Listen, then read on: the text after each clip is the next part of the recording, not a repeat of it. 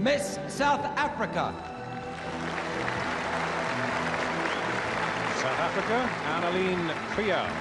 South Africa won in 1958. This is Anneline, who's 19. 47, Miss South Africa.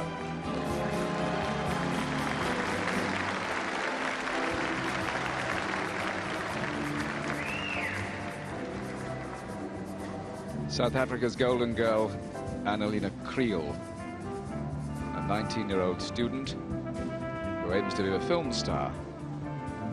Shimmering blonde hair with blue eyes, who measures 35, 23, 35.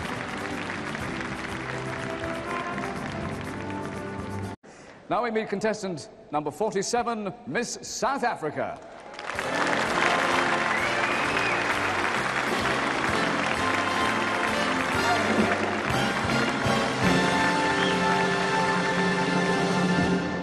Annalena Kriel, is that right? Anneline. Anneline Kriel. That's Tell right. us, Anneline, about the film that you've made. Well, it's a love story, and it's about a man um, from Johannesburg, you know, a very rough life. And the girl is on the farm, and she's about to marry the guy next door, the neighborhood. Are you the girl? Yes. Terrific. Will that come to this country?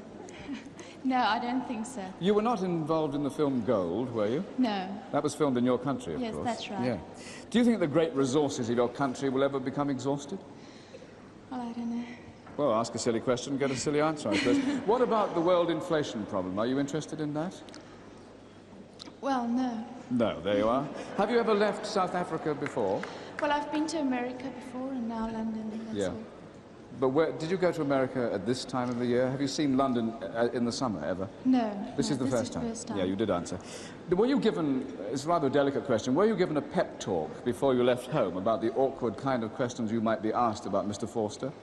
Um, no.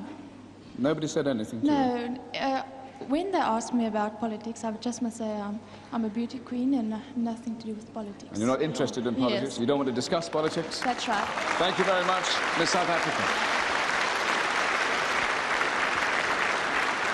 Miss South Africa.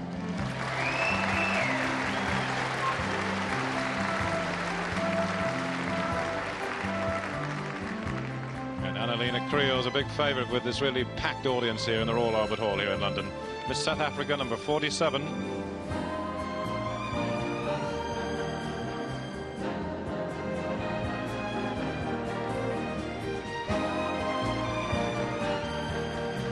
Annalena has come into London after just finishing uh, a film called Summer, which she was the female star. Miss South Africa.